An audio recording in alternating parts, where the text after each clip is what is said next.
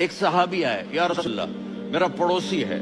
उसकी खजूर ऐसे टेढ़ी होकर मेरे घर में चंद उसकी शाखें हैं। उन पे फल लगता है। वो जो टूट के गिरता है, मेरे बच्चे उठा लेते हैं, हम गरीब हैं। वो भागा भागा आता, उनके मुँह से खजूर निकाल लेता है। उसको कहें कि बच्चों पर इतनी ज्यादती ना करें। आपने उसको बुलाया, वो मुनाफिक था।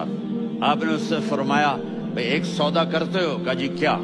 कहा ये खजूर मुझे दे दो, और इसके बदले जन्नत में मैं खजूर लेके दूँगा।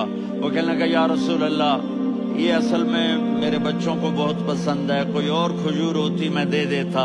ये तो मेरी माजरत है। वो तो मुनाफिक था। उठ के चला गया। एक साहबी बैठे थे। वो कहने लगे, या रसूल अल्लाह अगर मैं वो खजूर लेके दे दूँ तो मुझे जन्नत में ले देंगे?